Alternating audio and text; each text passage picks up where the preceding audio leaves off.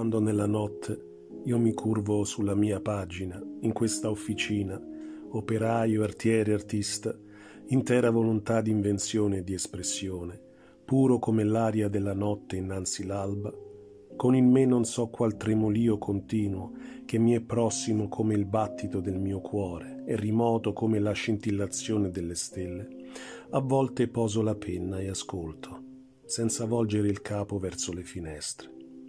Ascolto ma non tendo l'orecchio.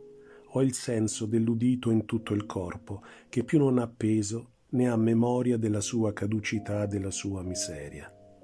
Il margine della mia tavola è lieve, come il contorno del mio pensiero sospeso, come l'orlo della mia immagine incompiuta, come il ciglio della mia palpebra china.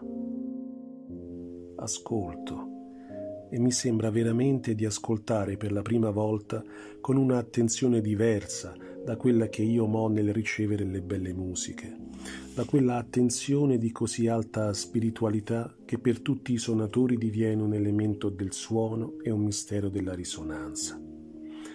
Ma la mia arte trasfigura il mio spirito. Le mie parole scelte e disposte dai miei ritmi si confondono con le mie più segrete fibre seguono i più esigui rami dei miei nervi. Ah, se le mie parole toccassero imperiosamente colui che leggerà il mio libro, come le parole della notte ora toccano me. Riprendo la penna. La mia mano è tanto bella e distante che mi sembra appartenere alla flora sottomarina. La luce della lampada alta m'è inutile e m'è importuna. In quest'ora il mio genio e la mia solitaria fosforescenza.